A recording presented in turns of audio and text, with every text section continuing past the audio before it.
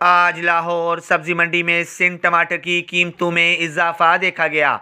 आज लाहौर सब्ज़ी मंडी से खालिद महमूद कमीशन शॉप के managing director Mohammad Jahangir Ali Sahib update करते बताते हैं, क्या सिंध टमाटर, मिरपुर खास, बारदाना, लाहौर सब्ज़ी मंडी में ग्यारह सौ रुपये से लेके बारह सौ रुपये तक, मिरपुर खास पेती में को खातर ख्वाह कमी या तेज़ी नहीं नोट की गई।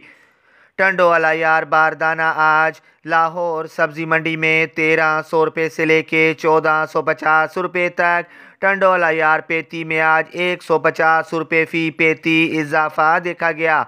ज़िम्मेदारी बारदाना आज सोलह किलो वज़न के साथ लाहौर सब्ज़ी मंडी में तेरह सौ रुपये से लेके पंद्रह सौ रुपये तक। ज़िम्मेदारी पेती में भी आज पचास रुपये फ़ी पेती तेज़ी देखी गई। ठट्ठा बारदाना आज लाहौर सब्ज़ी मंडी में तेरह सौ रुपये से लेके पंद्रह सौ रुपये तक।